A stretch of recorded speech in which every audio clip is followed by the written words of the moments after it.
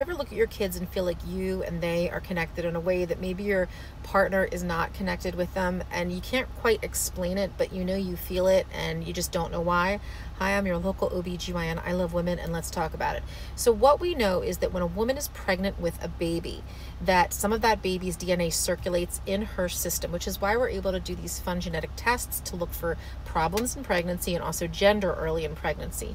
And that DNA that circulates from the baby has been found other locations of our body even years and years and years after that pregnancy. So what happens is they've actually done autopsies that have found the baby's DNA in women's brains. So I always think that they've changed our minds.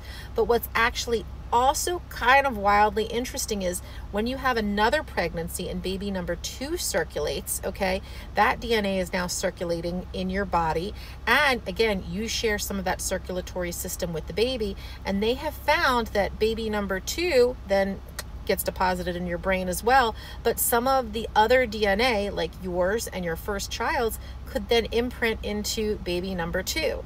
And then if you have a third baby, like mine, that kid gets deposited in your brain, but some of the DNA from yourself and baby one and baby two have now circulated and can end up in baby number three. So my littlest thinks it's very cool that they walk around with a little piece of their older siblings totally inside of them. And my daughter thinks she's a beast because she's the oldest and she is also inside of everybody. So it is a real wild, deep connection.